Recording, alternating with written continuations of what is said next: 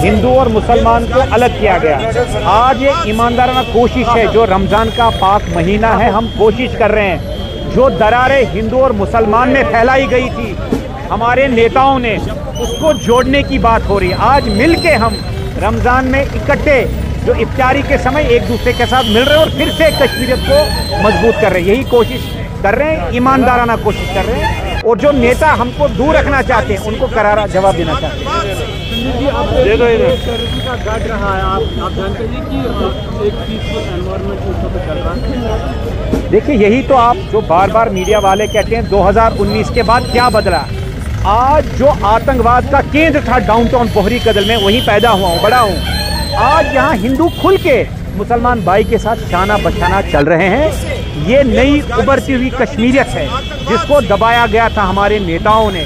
आज दो मकसद हैं। एक हिंदू और मुसलमान सिख और क्रिश्चियन इकट्ठे होकर रमज़ान के पाक महीने नई शुरुआत कर रहे हैं। दूसरी, ये करारा जवाब है उन रीजनल पार्टीज़ को, जिन्होंने डिवाइडेड रूल करके यहाँ अपनी हुकूमत जमाई और कश्मीरियों को मरवाया। कश्मीरियों को बांटा। आज वो पहल हो रही है सब इकट्ठे होकर एक यूनाइटेड फोर्स बने ताकि कश्मीरियत को और मज़बूत किया जाए।